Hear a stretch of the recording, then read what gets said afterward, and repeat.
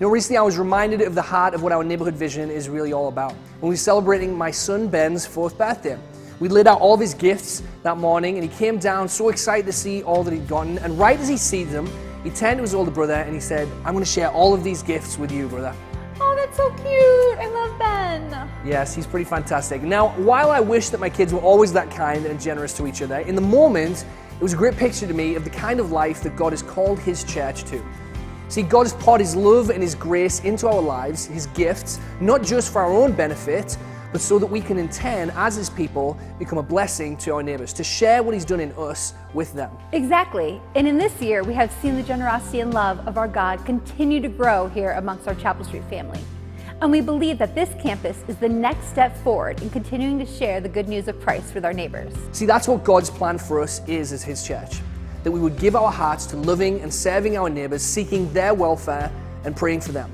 This is how God grows His kingdom and makes an impact by working in the hearts of His people, like you and me, to make us a blessing to our neighbors. There are so many ways we believe God is going to do that here in North Aurora. From regular weekly worship to unique opportunities during this week to get involved in the lives of our neighbors.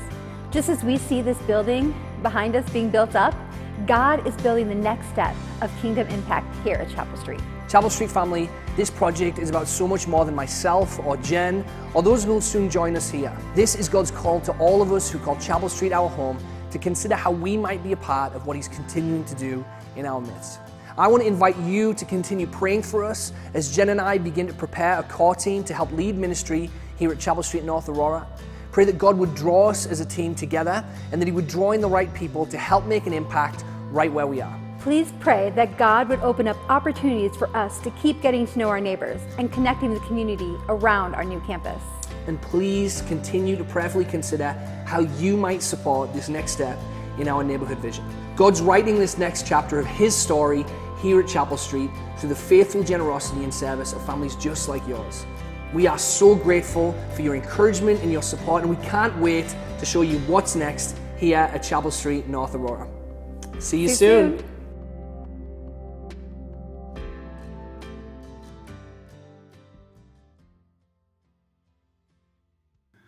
Well, hey, we're so glad you've chosen to join us, whether you're watching us at our Mill Creek campus or online. We're just glad that you're with us.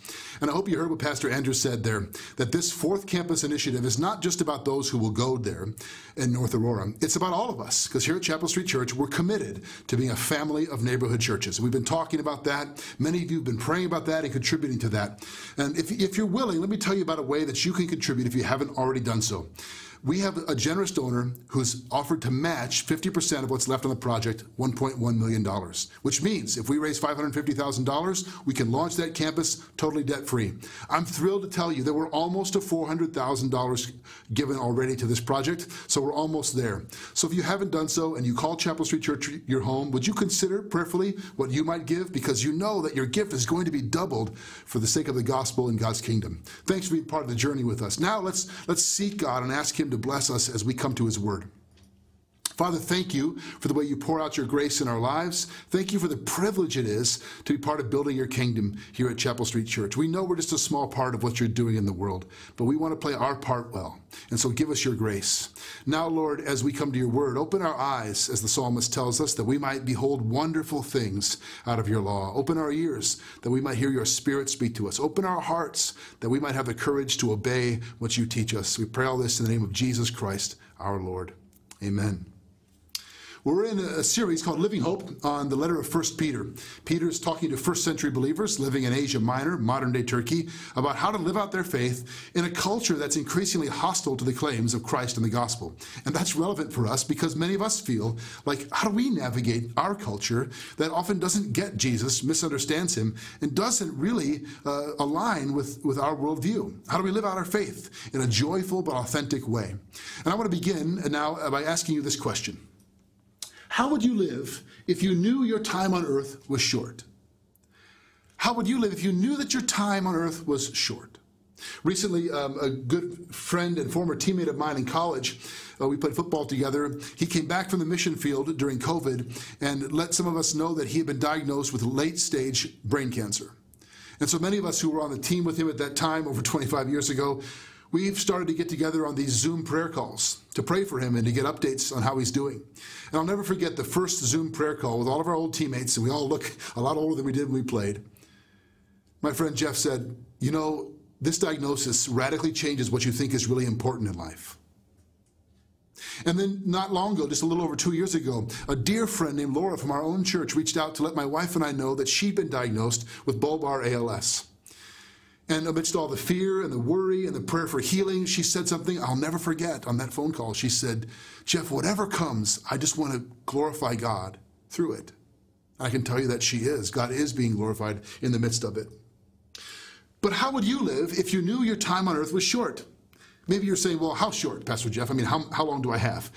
Well, without worrying about the specific days, if you knew that it was, you know, two years or less, what would you do? Would you make your bucket list of things to see and places to go and people to visit? Would you empty out your bank account and give it all away? Or maybe you'd go off to Vegas? Or what, what changes would you make to your life and why if you knew your time was short? In our series here, Peter's been encouraging first century Christians and us to faithfully live for Christ in a culture that's increasingly at odds with our faith. And he's saying also, don't be discouraged by that. Don't see that as a, as a disappointment. In fact, that's historically the way it's always been. People apart from God are opposed to the gospel. And you're not, it's not new to you, and it's not new to us. And here he's been telling us how we should live this way. In chapter 2, verse 12, he says that we should let the world see through our lives, our humble, submitted lives, the character of Christ. In chapter 3, verse 15, he says we should let the world hear from us when we say and declare the reason for the, the answer, for the reason for the hope that we have. Now we're moving to chapter 4, and Peter's going to talk about how to put this kind of Christian life in perspective, realizing that as Christ followers, our days are numbered. Our time here is relatively short. The clock is ticking for all of us. So we're going to read the first six verses from 1 Peter chapter 4. Since therefore Christ suffered in the flesh, arm yourselves with the same way of thinking. For whoever has suffered in the flesh has ceased from sin, so as to live for the rest of the time in the flesh, no longer for human passions, but for the will of God.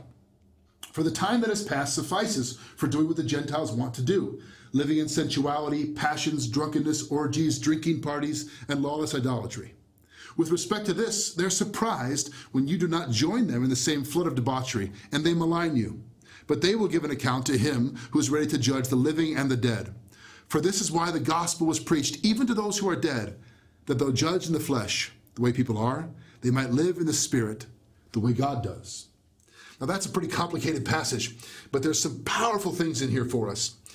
You know, people take a very different approach to how they think about the future. Some of you are planners and strategizers, others of you like to go with the flow.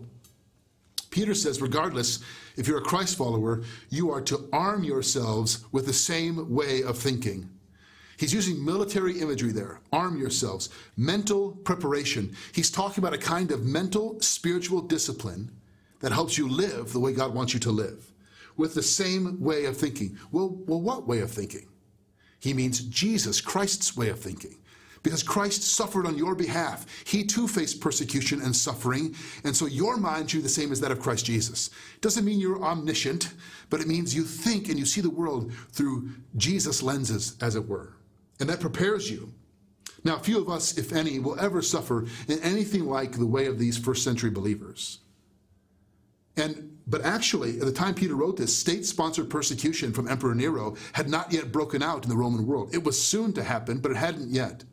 Nevertheless, they knew what it was like to be maligned, to be marginalized, to be mocked, to be sidelined for their faith, to be viewed by the culture as strange or even as a problem. And that's relevant for us. And whatever the case, Peter says we too are to arm ourselves with the same way of thinking. Now, in the second half of verse 1, Peter says that um, for whoever has suffered in the flesh has ceased from sin. Well, what does that mean? Does he mean that we become sinless when we suffer? No, not at all. There's only one who is sinless, Jesus Christ, the perfect one. What he's saying is suffering refines us, it purifies us, and he's saying if you choose to endure hardship or suffer because of Jesus, that's a clear indication that you've made a break from your old life of sin. Like the old hymn, I have decided to follow Jesus, no turning back. no turning back. You've, we've made a choice, in other words. I could go with the flow and not endure suffering and just renounce my faith and course live under the radar. But if I choose to live for Christ, it will inevitably cost me something. And so he's saying essentially, the ceasing from sin is I've ceased from living that way. Not that we don't ever sin or struggle, we do. But I've made a break with my old life, is what he's saying. And that's what gets us to verse 2. He says, The time that uh, past suffices for doing what the Gentiles want to do. Let me put it to you this way the defining moment of the Christian life is not, you know, some uh, um, inspiring sermon, although I believe in inspiring sermons. It's not some mountaintop mission trip experience, as powerful as those may be. The defining moment for most of us as Jesus followers is how do we respond when it costs us something to follow him? That's when the rubber meets the road, and we know this is real. And what Peter's saying here is essentially, your time is limited. So I'm going to use a little drawing here because Peter's really giving us, one, because I think the board is cool, but also because Peter's really giving us the fact, three clocks, as it were. So the first one we'll talk about is your time. He's saying that, you know, the clock is ticking on your life. That our time is limited. It's fixed. It's finite. And literally, in the text here, what Peter says is, for the time that is past suffices for doing what the Gentiles want to do. Meaning, literally, it means the time that has passed is enough for that behavior. You, you might translate this literally, enough already, Peter says. You don't have time to waste living that way. Don't waste any more time. You've wasted enough time in those things. And if you think about that list Peter gives us, debauchery, drunkenness, and all and sexual sin, it's the same garbage we still struggle with today. From first century to 21st century, it's the same stuff. And Peter's saying, enough. That time is past. It's enough. The clock is ticking for all of us. You know, I, I recently was watching a, a rugby match on uh, some obscure channel on cable, and I, the, the British commentators were saying that so uh, the penalty box, or when you commit or get a yellow card, we call that in hockey the penalty box. I'm not sure in rugby what the actual term is, but the commentators were saying it's the sin bin. They kept calling it the sin bin, and at first I wasn't sure what they're saying about the sin bin. Then I started thinking about that. If you're in the sin bin, I wish I could imitate their accent. I think they were New Zealand actually. If you're in the sin bin, you're not in the game. You're out. And there's a sense in which Peter's saying is God wants you in the game for his sake and his glory and for your good. Don't waste any more time in the sin bin. It's not worth it, he's saying. And, and he goes on then uh, in the text and talks about their lives. In verse 4, he says, For the time is past suffices for doing what the Gentiles want to do. And he says, When you don't join them, they malign you for this, they mock you for this. But they too will give an account, he says. They're going to give an account for their own lives. So this is the second clock. This is the clock that we might call their time. Their clock is also ticking. Everybody who's on earth has a clock, right? And they're all ticking on us. We're not going to live eternally in this earthly life. There's a fixed point in which, which we're all going to die. And God knows that, even if you and I don't know that when that is for us. So, and the relationship between these two clocks is critical because what Peter's been saying is the way you live your life, the way you use your time on earth can impact their time, how, what their eternity is like. You don't have time to waste here, not only for your sake and God's glory, but for their sake. Now, to live your life any other way than sold out for Christ is wasting your time. Let me just talk to you. If you're in high school for a minute, you ever stop to think you only get one chance to live a sold out life for Jesus as a high school student? I think back on my years in high school, and I really didn't come to deep faith in Christ until toward the end of my high school years, and I didn't seize that moment. You only get one chance if you're in college to live as a college student sold out for Christ. You only get one chance in your 20s or your 30s or your 40s. Those seasons are behind you eventually. Seize that moment, Peter's saying. Use your time to glorify God. Let me put it to you this way. We'll go back in a simple statement. We'll come back to this drawing in a minute. But a simple statement to put it this way Your life on earth is a gift from God that you are meant to use for His purpose and His glory. That's it. He's given you the days and numbered them for His, for his purpose and His glory. To live any other way is a waste of time. Don't waste your time. Now, in verse 6 is curious. In verse 6, I'll just read it again here for us. He says, For this is why the gospel was preached even to those who are dead, that though judged in the flesh the way people are, they might live in the spirit the way God does. Some have taken this to mean, oh, oh, after you die, you get a second chance to believe in Jesus. That's not what Peter's saying.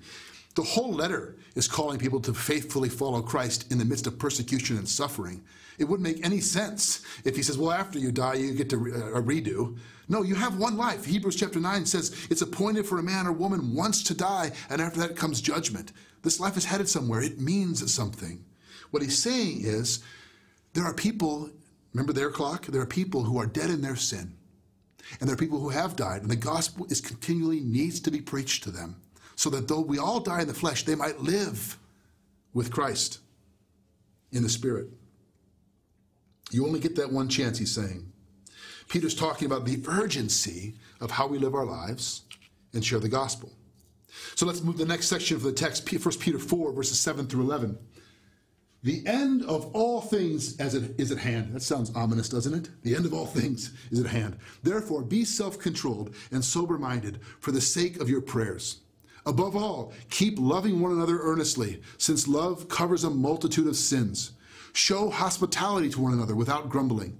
As each has received a gift, use it to serve one another as good stewards of God's varied grace. Whoever speaks, as one who speaks the oracles of God. Whoever serves, as one who serves by the strength that God supplies, in order that in everything God might be glorified through Jesus Christ. To him belong glory and dominion forever and ever.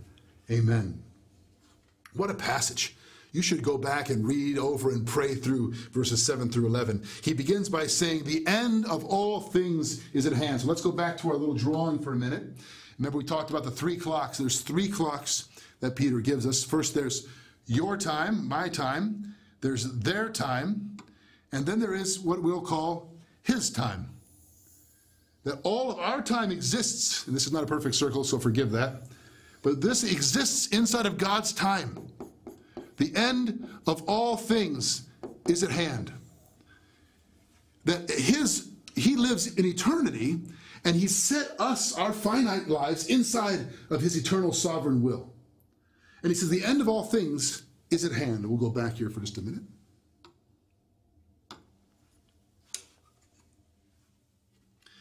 And he's teaching us then how to live in light of the end. How do we live in light of the end? And he gives us three simple things. Before we get into these, let me just say, how do you think we should live in light of the end? How do you observe Christians living in light of the end, or non-Christians? Uh, I got to be honest, we don't we don't get this right very often. I, I see people that uh, living in light of the end. We, we're fasting with the end times. When's the end? Books written predicting the date and then rewritten to interpret why they were not wrong about the date when the date came and went. YouTube channels galore on prophecies and reinterpreting imagery and why 666 applies to some politician we don't like. And craziness abounds trying to live in light of the end of all things. But that's not what Peter's saying here. He doesn't tell us to do any of that stuff. Here's what he says. Fascinating how simple and profound it is. First, he says, pray. Right here the text, Therefore, be sober minded and self controlled for the sake of your prayers. There's a particular kind of prayer life we're to have clear eyed, clear headed, not freaking out, not praying wacky stuff, but focused on Christ, self controlled because we know our time is limited, and laser focus on Jesus in our prayers and what his agenda is. The first thing Peter says you want to live a life in light of the end of all things? Pray. Be a praying people. Be a praying church. Isn't that good? It's so simple but so profound. That's how we're to live in light of the end. Keep our minds clear, our lives self controlled, and pray. And then in verse 8, he says, Above all, keep loving one another earnestly, since love covers a multitude of sins. This is the second thing love. what could be simpler, but some, so difficult for us sometimes? Live in light of the end, pray, and love. Love each other earnestly. Now, Peter's not saying when he says that love covers a multitude of sins, he's not saying that, that love sweeps all sin under the rug or love ignores injustice. No, not at all. Here's what he's saying When you love each other earnestly, you believe the best about each other. 1 Corinthians 13, love believes all things. You are less defensive than you otherwise would be. You're, you're not as easily offended as you ordinarily would be. You don't hold grudges. You give each other the benefit of the doubt. Where love is lacking, every word and every action is, is questioned or doubted or viewed with suspicion. And every motive is, uh, is you know, questioned and brought into, into doubt. I've noticed this during the COVID season. We've been isolated at times from each other, distanced from each other. It's starting to change now. We're seeing each other more, and I praise God for that. But there was a season when we were under quarantine, a long season during this last year, when I noticed tangibly, it was, it was, it was visible that people stopped believing the best about each other all they saw was something on social media, or I heard this person believes that, or said this, or voted this way, or whatever. And you know that person. You love that person. They love Jesus like you do, but yet there's bitterness and anger and distrust and suspicion. Why? Peter, uh, it's very wise what Peter says here. In Living in light of the end means love, because it covers each other, even when we don't get things right. And then in verse 10, he says, Use your gifts, whatever gifts you've been given, to serve this is the third thing serve. Three things, Peter says. You want to live a life that's in proper perspective in light of the end? Pray, love, and serve. One of the most encouraging things to me over this COVID season has been to watch Chapelstreeters, many of you, and the way that you, even though some of our, our movement was restricted and our opportunities were limited, found creative and, and wonderful ways to keep serving and loving your neighbors. And that's still going on. Think about this. The end of all things is near. What should we do? What should we do? Wring our hands? No. Pray, love, serve. Martin Luther once said, Even if I knew that Jesus was to return for certain tomorrow, I would still plant my apple tree today. I love that. Meaning, get on with life, the life God has called us to live, and trust God. Precisely because we know the one who holds the end of all things. You know, there's a difference between the end of all things and the end of your things. The end of all things, we don't know. Was Peter wrong when he said the end of all things is near? I mean, it's been 2,000 years. Did he get that wrong? No, because when Christ rose from the dead, we entered into what is called the last days. First Peter chapter 1 tells us this, living in the last days. We're still living in those days. We're still living with the end of all things approaching. But even when we, though we don't know the end of all things, the end of your things may, is, may come soon for all of us. That's our clock again. The point is that we learn to live in light of the end. Okay, now, the last part of chapter 4, verses 12 through 19. Beloved, do not be surprised at the fiery trial when it comes upon you to test you, as though something strange were happening to you. But rejoice insofar as you share Christ's sufferings, that you may also rejoice and be glad when his glory is revealed. If you are insulted for the name of Christ, you are blessed, because the Spirit of glory and of God rests upon you. But let none of you suffer as a murderer, or a thief, or an evildoer, or as a meddler. Yet if anyone suffers as a Christian, let him not be ashamed, but let him glorify God in that name. For it is time for judgment to begin at the household of God. And if it begins with us, what will be the outcome for those who do not obey the gospel of God? And if the righteous is scarcely saved, what will become of the ungodly and the sinner? Therefore, let those who suffer according to God's will entrust their souls to a faithful Creator while doing good. This is such an important passage. Honestly, we could have spent a sermon on each section here independently. But when it comes to suffering, Peter is he's saying, okay, now that you know, if we go back for just a moment to our drawing of the times, He's said, now that you have this perspective, living your time in light of his time, the end of all things, how do you endure suffering when it comes? What should our response be? You know, we are such an avoidance culture when it comes to suffering. We, we have industries designed around this. As Christians, we have to put this whole discussion of suffering into its proper perspective.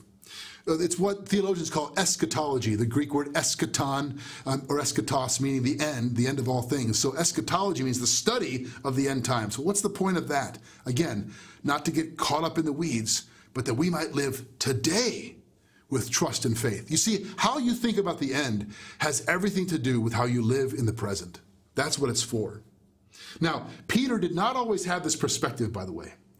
Peter it was not always this clear eyed about how we should live in light of the end. In fact, in Mark chapter 8, there's this fascinating back to back story where Jesus asks the disciples, Who do the people say that I am? And they're all confused. The people don't know. And he says, Who do you say that I am? And Peter says, You are the Christ, the Son of the living God. And Jesus says, You got that one right. And then the very next story, Jesus says, The Son of Man, meaning himself, must be betrayed into the hands of sinful men and tortured and crucified.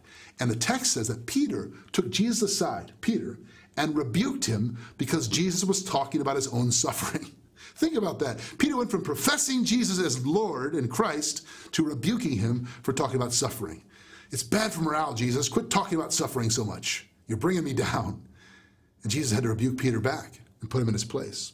And in John 21, uh, Peter has been reinstated after his failure denying Christ. And Jesus, at the end of that beautiful exchange, Jesus says to Peter, You will be led where you don't want to go when you're old, to indicate the kind of death he was to die. Peter would be crucified upside down uh, under the Roman persecution. And Peter in John 21, his response is, Okay, may it be to me as you have said. No. You know what he says? But Lord, what about that guy? Meaning John. That's so us, isn't it? Yeah, yeah, okay, but what about what about what about what about?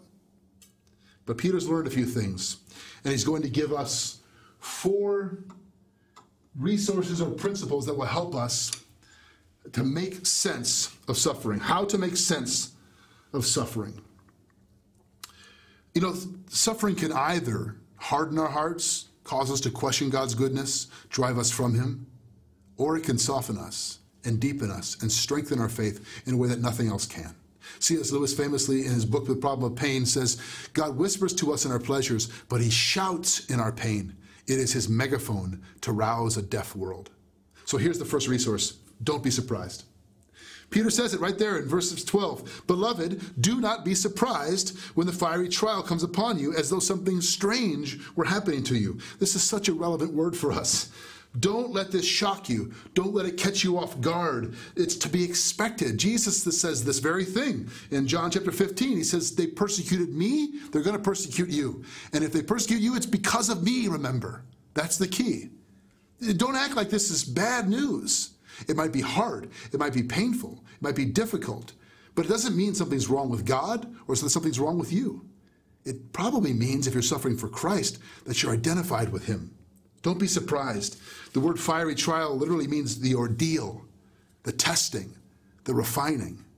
So don't be surprised when it comes because it came for Jesus. And if you identify with him, it might come for you too.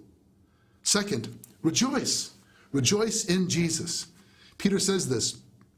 Uh, he says that we are to rejoice if you're insulted for the name of Christ and we're blessed by the Spirit of glory and we're to rejoice in him. This is a hard one. It's not the power of positive thinking. Peter's not saying, you know, just pretend like it doesn't hurt. Pretend like everything's fine. You know, sometimes we think that we have to come to church and put on a face and act like we're just fine when we're not just fine. I'll never forget years ago, I asked this man uh, who was walking, I said, Hey, Nick, how are you? And he said, You really want to know? I was like, uh, Yeah, I, I guess. Sure. I was just asking. And he launched into this really difficult, painful story of what he's been what he'd been going through. And he said he prayed that morning on the way to the church, I'm not pretending anymore, Lord. If somebody asks me, I'm going to tell them the truth. And he did. Why do we pretend? Don't be surprised, rejoice. Now, it doesn't mean rejoice in the pain, it means rejoice in the midst of it because you're in Christ. Rejoice in the one who suffered for you. In Acts chapter 5, verse 41, Peter's one of these, the, the disciples, the apostles who are tortured and then released, warned, don't preach in the name of Jesus. They went out rejoicing, not because they'd been beaten, but because they were considered worthy to suffer for the name of Jesus. This brings us to the third resource Peter gives us glorify his name. Glorify his name. In verse 16, he puts it very clearly. He says to us, that we are let none of you suffer as a murderer, a thief, or an evildoer, or a meddler. In other words, your suffering needs to be for Jesus. Yet if anyone suffers as a Christian, this is one of only three times the word Christians used in the New Testament. Christ, it means Christ one, one identified with Jesus. They didn't have words for them, they just called the Jesus people, the Christ ones.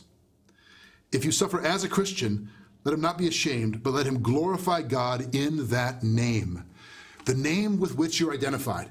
If you suffer as a Christian, a Christ one, then bring glory to God in the very name under which you suffer. His name, Jesus' name. That's what he's saying. In verse 14, he says, The Spirit of glory rests on you. This is so important. God doesn't abandon you in your pain. The Spirit of glory rests on you in a way that, that's powerful, in a way that maybe it doesn't feel the same when times are easy. I've never heard anybody in my life say, The most important lessons in my life I've learned through ease and comfort and security. No. It's always come through difficulty, pain, and struggle, even suffering. And here we're told that when this happens to us, of whatever kind, the Spirit of glory rests on you, that you might bring Him glory. Remember Laura's prayer when she was diagnosed with ALS? I just want to see God glorified. Of course, she wants to be healed. And I've been praying for that. Many people are. Of course, she wants to have her days prolonged. But the clock's ticking for all of us. And I love what she said. I'll never forget it. I just want to bring God glory. Whatever comes, however long it lasts. Finally, Peter tells us to entrust your soul to God. Verse 19 can only be claimed if we're living the way that the first part of the chapter lays it out for us. Verse 19 is such a powerful verse. One more time. Therefore, let those who suffer according to God's will entrust their souls to a faithful Creator while doing good. Meaning, remember, remember that? Pray, love, serve, doing good. Keep praying, keep loving, keep serving. And while you do that, entrust your soul to God. Leave it to Him. He made you. He loves you. He knows all the days ordained for you. He knows every hair on your head. He knows how, how much time you have. He knows when the end of all of your things will come and when the end of all things comes. He holds it all. So you can pray, love, serve, and entrust your soul to your Creator, the one who suffered for you and in your place. What better way for us to remind ourselves of the hope we have in Jesus than by celebrating communion, coming to his table? Jesus, the suffering servant, the one who suffered in our place and who's with us in our own pain and difficulty. Let's pray as we prepare our hearts to come to his table. Father God, thank you for these ancient words written to people long ago facing persecutions that many of us, most of us, will never know. Nevertheless, they're relevant for us we too are to arm ourselves with the same way of thinking, the way of Christ. We too are called to live in light of the end of all things by praying, seeking you in prayer, by loving people, by serving others and you. And we too, Lord, when we face difficulty and persecution and hardship because we're identified with your name, teach us, Lord, not to be surprised. Teach us to rejoice in you.